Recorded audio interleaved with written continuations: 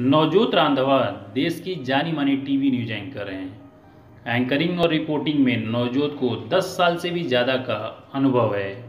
अपने 10 सालों के पत्रकारिता करियर में नवजोत रांधवा ने कई नामी संस्थानों में काम किया है, जिसमें Zee News I B N seven, Sahara Samay, Aaj Tak और नेटवर्क 18 मीडिया समूह शामिल है।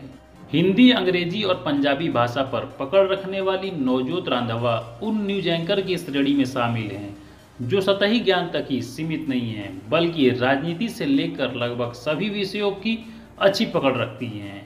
तो आज के इस वीडियो में हम इनके ही जीवन के बारे में बात करेंगे। तो आइए वीडियो को शुरू करते हैं, लेकिन वीडियो शुरू करने से पहले हमारी आपसे रिक्वेस्ट है, यदि आप हमारे इस चैनल पर नए आए हैं तो चैनल को सब्सक्राइब करके बेल आइकन को प्रेस कर दीजिएगा क्योंकि मैं इसी तरह की वीडियो अपने इस चैनल पर लाता रहता हूँ। तो इनका जन्म 27 जून 1988 को पटियाला पंजाब में एक सिख परिवार में हुआ था।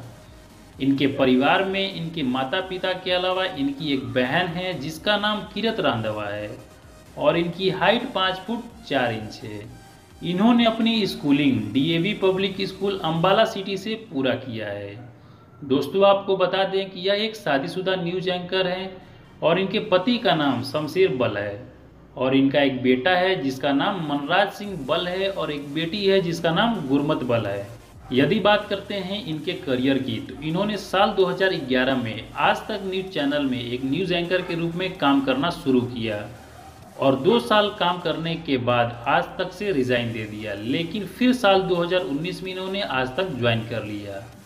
आज तक में रिजाइन देने के बाद साल 2014 में एक न्यूज़ एंकर के रूप में इन्होंने आई बी सेवन में काम करना शुरू किया और शाबाश इंडिया शो की मेज़बानी करती थी। साल 2015 में इन्होंने छत्तीसगढ़ पुलिस अवार्ड को भी होस्ट किया था। दोस्तों, इन्हें मुख्य रूप से आज का मुद्दा सीटिंग द अवार्ड्स और शाबाश इंडिया शो की मेज़बानी के लिए जाना जाता है। तो ये रही नवजोत रांधवा के जीवन से जुड़ी कुछ जानकारियाँ आपको यह वीडियो कैसी लगी, मुझे कमेंट बॉक्स में बताइएगा। और अच्छी लगी हो तो वीडियो को लाइक करके ज़्यादा से ज़्यादा लोगों के बीच में शेयर करें